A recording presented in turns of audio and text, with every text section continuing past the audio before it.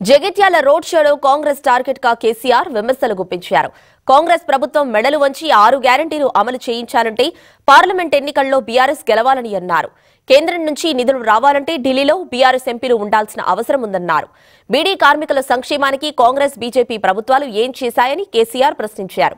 బీడీ కార్మికుల బతుకులను నిలబెట్టింది బీఆర్ఎస్ ప్రభుత్వమేనని స్పష్టం చేశారు. బీఆర్ఎస్ గెలుపులోనే తెలంగాణ గెలుపు ఉందన్నారు.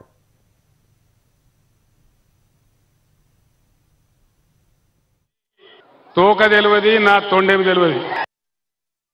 ఈ రాష్ట్ర ప్రభుత్వం జగిత్యాల జిల్లా తీసేస్తా అంటున్నది. జగిత్యాల జిల్లా ఉండన్నా పోవన్నా జగిత్యాల జిల్లా ఉండన్నా మరి ప్రభుత్వం తీసేస్తా అంటున్నది. జగిత్యాల జిల్లా ఉండాలంటే నిజామాబాద్ ఎంపీగా బాజిరెడ్డి గోవర్ధన్ గారు గెలవాలి. పెద్దపల్లి ఎంపీగా ఈశ్వర్ గారు గెలవాలి. కరీంనగర్ ఎంపీగా వినోద్ కుమార్ గెలవాలి. ఎందుకంటే వీళ్ళకి ఇప్పుడున్న ప్రభుత్వానికి తోక తెలియదు నా తొండేమి తెలియదు. ఏ పని కూడా వీళ్ళకి చక్కగా చేస్తలేదు. మీ అందరికీ తెలుసు ఇలా ఎందుకు వరద కాలువని ఎండబెట్టినారు అని నేను అడుగుతా ఉన్నా. ఏ కారణం చేత ఎండబెట్టినారు?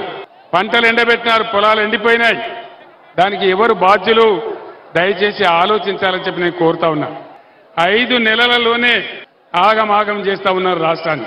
బీడీ కార్మికుల గురించి పట్టింపు లేదు చేనేత కార్మికుల గురించి పట్టింపు లేదు గౌడ కార్మికులు గీత కార్మికుల గురించి పట్టింపు లేదు విద్యార్థుల గురించి పట్టింపు లేదు విద్యార్థుల ఫీజు రీఎంబర్స్మెంట్ వస్తలేదు. ఇది ఎట్లున్నదంటే అన్న వస్త్రానికి పోతే ఉన్న వస్త్రం పోయినట్టున్నది.